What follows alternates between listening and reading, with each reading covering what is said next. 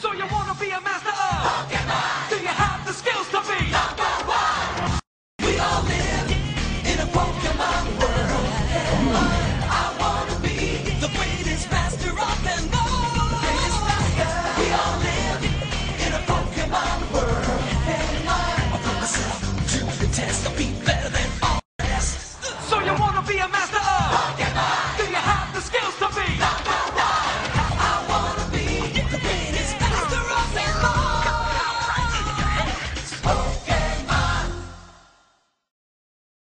Hey, this is ArmedFro's um, 29th battle, I think, versus the famous Fizzy Stardust.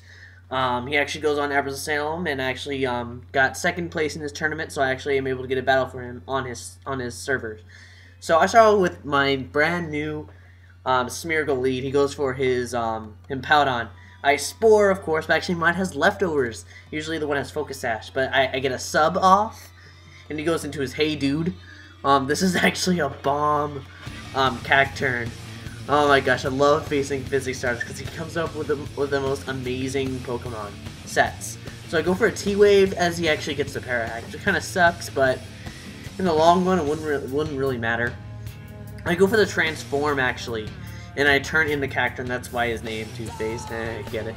But um, he, get, he breaks myself with a Seed Bomb, and I look at this look at this guy's move set, and I go for the low kick. He actually is Cotton Spore, which decreases um, a guy's speed two stages. he predicted that went for his Rotom very nicely, and I'm and I look at this guy. I'm like, Ugh. um, I just might as well go for a sucker punch, see what he does. He goes for a rain dance actually. And at this point, I'm like, you know what?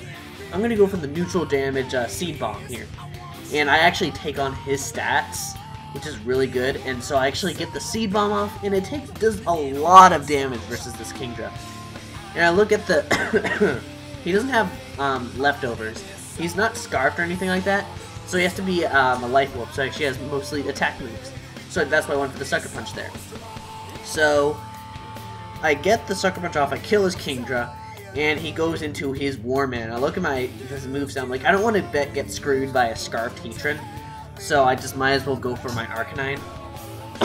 he goes for the substitute, which is a really smart move on his part, um, since he knows his guys. Um, I go for a hidden power ground just to break a sub. At this point, Fluffy Puffy, Puffy Puppy isn't very useful because um, uh, he actually able to get the second hidden power ground off. I actually, to break a sub, and he kills me with an Earth Power because he's faster. So, sorry, I have a little cough on. So, uh, yeah, he takes out my Fluffy Puppy. Sadly, um, he and with another Earth Power. So I look the rest of my guys. He's not scarfed. He's leftovers definitely. And so I want to try out this new guy. I, I actually got salved. Uh, another person salved this for me. So um, my Gengar. Uh, he actually um, his move says T-Bolt, Energy Ball, Shadow Ball, and Hidden Power Ground. But I hit a Rotom. Like what? Like that was exactly in my face. I'm like, holy crap. And I'm like, okay, maybe HP Ground hits Levitate stuff. Maybe. Um, I don't know. But I actually go for the um, Smeargle again just to take the Shadow Ball. And I just think to myself, you know what? I'm going to go for the sub. Because if he's Scarfed, that's cool. I get a sub up. If not, uh, I'll take a Hydro Pump or something like that. And my guy would die anyway. So he, he, he I take the uh, Thunder as I transform. Actually, no, Matt, I T-Wave this guy. Just, just so I could be faster and I could take the resisted move. so, I actually transform into him as he goes for the thunder again, um, just just in case I switched or something.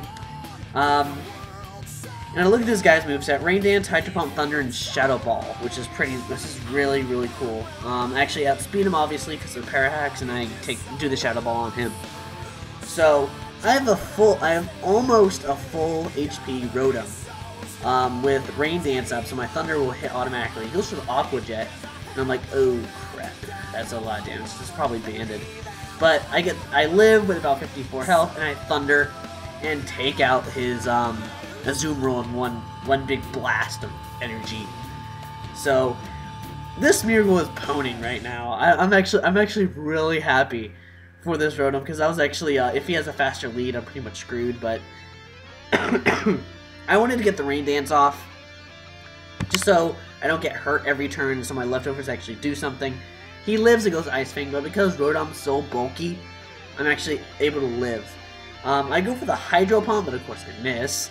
And I get the Ice Fang. I guess that's karma for the T-Wave Parahacks in the beginning.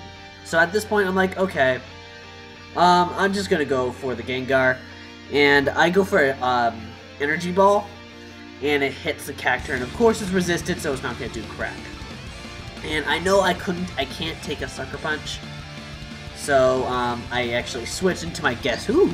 It's my Mence, my Mix Mence, and he actually does a smart move, goes for the Cotton Spore, which decreases my speed, but it doesn't matter all that much because he's Parahaxed and I'm faster anyways. So, he goes for the Sucker Punch. I did a Draco Meteor just in case he switched. Um, I didn't want to like do a Fire Blast in uh, just in case he switched in Heatran or Hippowdon. It would hit anything that he comes into. And he goes back into his Kapow, and I switch into my Tagoro, my famous Tagoro. And um, I just go for a Will-O-Wisp just to decrease his attack to make it a completely pointless Pokemon. But he predicts that like a pro and goes into his Heatran. I'm like, oh boy. Heatran. I, I go for an Earthquake. Um, I can take a Fire Blast, not very well, mind you, but I can take a Fire Blast. Um, so he does go for the Fire Blast, and because of the, the Fire Boost and the Stab, he I live with 15 health. Holy crap. Wow. But I go for the Earthquake, and it doesn't kill. Ah, oh, Tagoro, you're a beast, but not beastly enough.